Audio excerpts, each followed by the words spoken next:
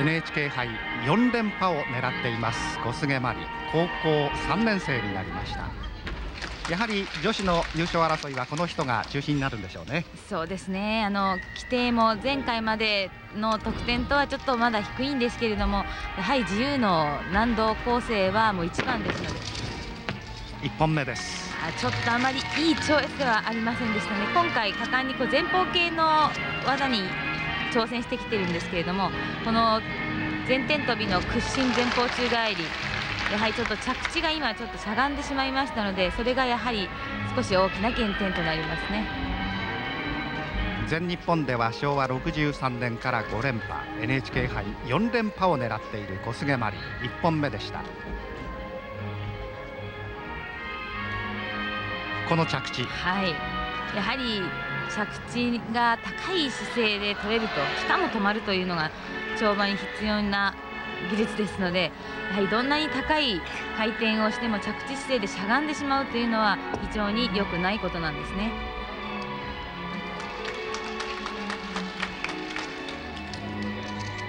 1回ごとに得点が出ますその1本目の得点の出を待っている小菅真理です昭和63年の仙台の全日本中学1年生の時史上最年少チャンピオンになりました。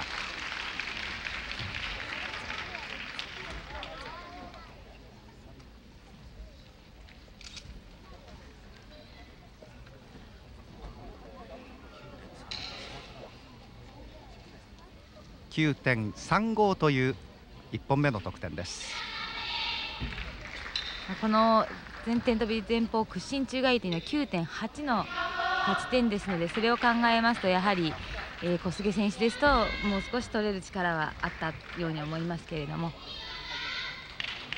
2本飛ぶわけですが、はい、同じ飛び技でしょう、ね、でも、はい、結構あの競技2ではどちらでもいいよ。異なってもいいし同じものでもいい。まあ、種目別になりますと同じ平均でも違うグループから選ばなければいけないということになります競技2というのは個人総合争い。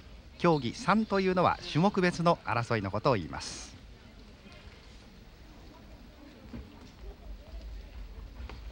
この403というのは飛び方を表します。同じ飛び方です。今回のがいいですね。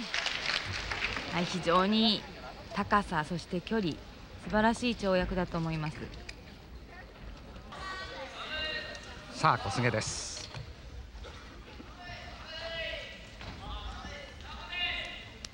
この人の段違い平行棒の、まあ、見どころというのは？そうですね。あのー、開脚のイエーガー宙返りを足を閉じて先ほどの菅原選手もやったんですけれども、はい、閉脚で行うと。足を開くよりも足を閉じる方が体操の世界では難しい難度になりますのでこれが、えー、最高級難度になりました。今度の新しい E 難度ということになります。そして今回新しく後方の伸身に海中外の折りを見せてくれるかどうかがちょっとこれですね。これが E 難度なんですね。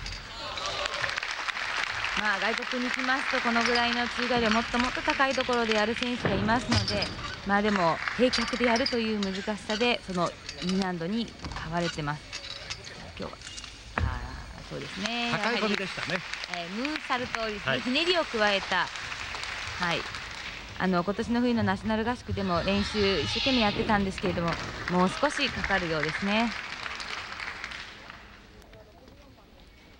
さあ女子のトップの小菅真理ちょっと着地の一歩が惜しいですね。0点ああいうの減点は0.05ぐらいされます今年の4月イギリス世界選手権では落下がありましたこの平均台。今日は素晴らしいですね、えー、もうおなじみになりましたその場からの後方伸身宙返りの3回連続。倒立から脚上挙を経ます。バルセロナオリンピックとはあの演技内容を変えてきましたね。そうですね。あの大きな流れの中では変化はないんですけれどもやはりそのルールとかあるいは発展に応じてやはり少しずつそういう構成は変わってきます、ね、今のジャンプがあの新規申請されている、えー、これは新規申請じゃないかな。あのジャンプでひねって、えー、非常に向きが変わるという難しいジャンプなんですね。これは後あの前方宙返り。これもえー、D 難度になります。まあ、日本の選手ジャンプ系に工夫がもう少し欲しいなということであの規定の方に非常に難しい今度はジャンプも入りましたので今後体操系のジャンプそういうものに非常に私は期待をしたいなと思ってます。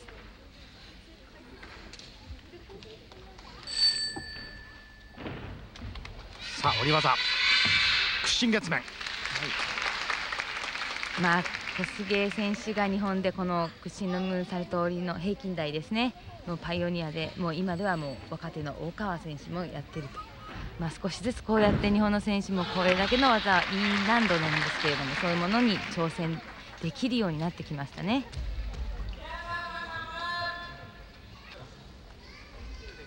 菅原梨沙9.10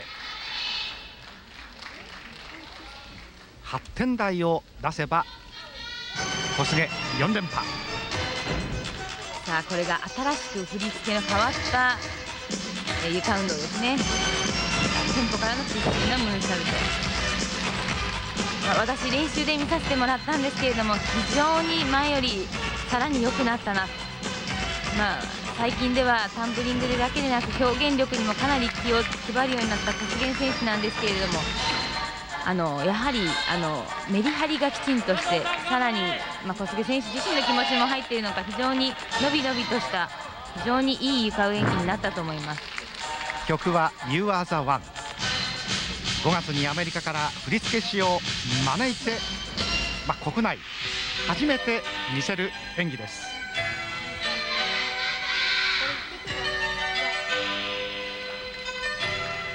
こういうゆっくりなところの使い方も非常にうまくなりましたね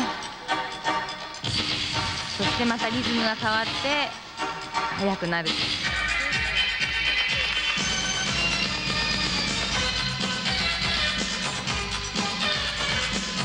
まあ、もう少しよく言えばジャンプのところがもう少し床から離れてきたりすると非常にもっとメリハリの効いた床になると思います。最後も D 難度で攻めてきましたね。伸身から屈伸の2回宙返です。やはりさらにもう熟練性を増してきたという感じがしますね。これで小菅真理さんの NHK 杯4連覇は間違いありません、はい、大したものです、えー、女子個人総合優勝小菅真理選手朝日生命体操クラブ大会史上最多タイ記録の4連覇小菅真理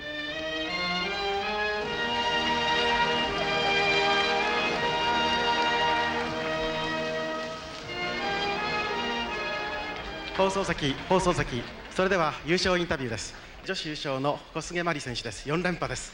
おめでとうございます。ありがとうございます。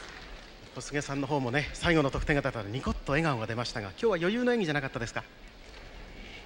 そうでもない。あの新ルールになったのでとにかく挑戦する気持ちでやりました。今日はあの平均台それから床が新しい構成だったようですけども自分としてはどのぐらいまとまりました？まあ自分としてはいい出来だったと思います。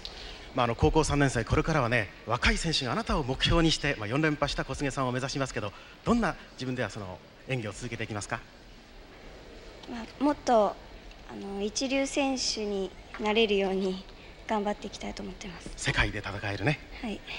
おめでとうございました。優勝インタビューでした。放送席どうぞ。山下アナウンサーのインタビューでした。さあその小菅さんについて加納さんから伺いますが見事でしたね、はい、そうですね、はい、まあルールが変わっても強い選手は相変わらず強かったということですね、ね、はいえー、男子の方は小西博之さんの解説でした。小西さんどうもありがとうございました。どうもありがとうございました。若い選手の成長楽しみにしましょうね。そうですね。そして女子の解説は加納弥生さんでした。